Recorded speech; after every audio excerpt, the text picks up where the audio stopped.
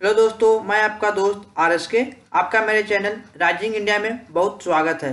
आज हम आपको इंडिया और न्यूजीलैंड के बीच खेला गया दूसरा वनडे मैच का हाईलाइट बताने जा रहा हूँ। वीडियो को लास्ट तक देखें।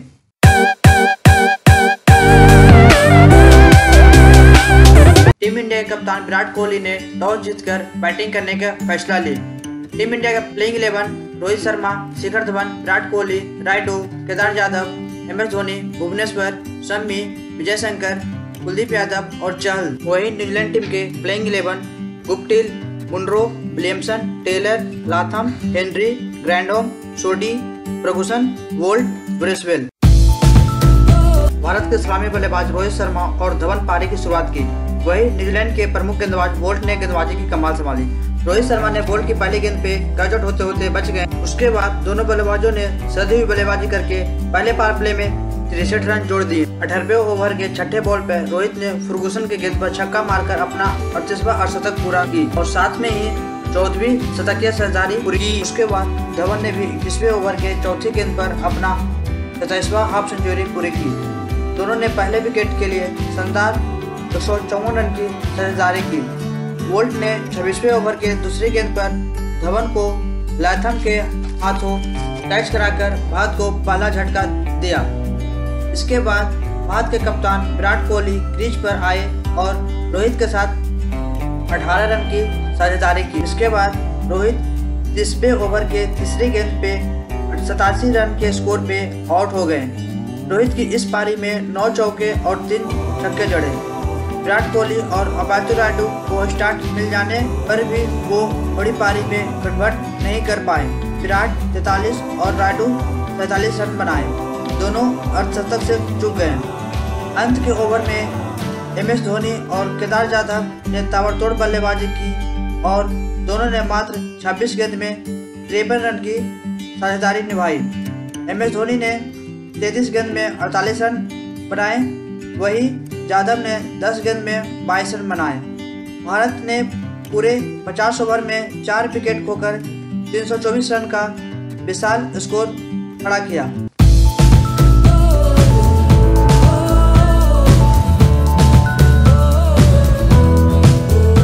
न्यूजीलैंड के सामने एक पहाड़ जैसा 325 रन का विशाल स्कोर था। न्यूजीलैंड की पारी की शुरुआत सलामी बल्लेबाज मार्टिन गुप्टिल और मुंड्रो ने की। वही टीम इंडिया की प्रमुख गेंदबाज भुवनेश्वर ने एक बार फिर से गेंदबाजी की कमान संभाली।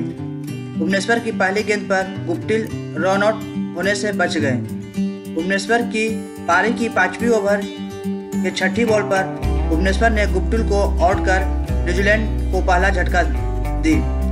एक बार फिर न्यूजीलैंड के इस्लामी बल्लेबाज एक लंबा सरदारी बनाने में असफल रहे और सिर्फ़ तेईस रन पर पहला विकेट गवा दी इसके बाद न्यूजीलैंड के कप्तान केन विलियमसन क्रीज पे आए और आते ही ताबड़तोड़ बल्लेबाजी करना शुरू कर दी।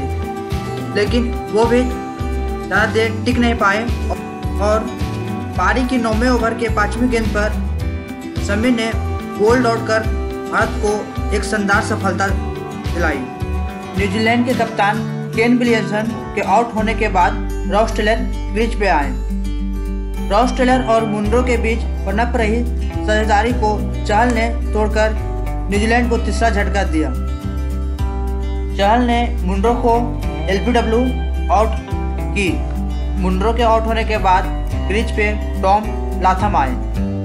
रॉस टेलर भी कुछ खास नहीं कर पाए और सिर्फ़ बाईस रन बनाकर यादव का शिकार बने। केदार यादव की गेंद पर धोनी के द्वारा एक लाजवाब स्टंपिंग कर टेलर की पारी को समाप्त कर दी। रॉस टेलर का आउट होने के बाद क्रीज पर हेनरी आए। पच्चीसवें ओवर के तीसरी गेंद पर कुलदीप ने लॉथम को एलपीडब्ल्यू कर न्यूजीलैंड की आधी टीम को पवेलियन भेज दिया। एक बार फिर से कुलदीप की फिरकी में आकर न्यूजीलैंड एक सौ छियासठ रन पर आठ विकेट गवा दिए नौवा विकेट के लिए ब्रेसवेल और फर्गूसन के बीच अंठावन रन की साझेदारी हुई। इस बीच ब्रेसवेल ने अपने ओडियाई करियर का पहला हाफ़ सेंचुरी लगाई। इस साझेदारी को भुवनेश्वर ने तोड़ी। फर्गूसन को आउट कर चहल ने न्यूजीलैंड की पारी को समाप्त कर दी और सेकेंड ओडीआई को भारत ने 90 रन से जीत लिया। यह भारत की सबसे बड़ी जीत है न्यूजीलैंड में। रनों की अंतराल से। न्यूजीलैंड की तरफ़ से सर्वाधिक ब्रेसवेल संतावन रन बनाए। वहीं कुलदीप ने इस सीरीज़ में लगातार दूसरी बार चार विकेट झटके। भुवनेश्वर और चहल दो दो विकेट झटके। वही सैमी और यादव एक एक विकेट झटके। मैच के हीरो रोहित शर्मा को मैन ऑफ़ द मैच से सम्मानित किया गया।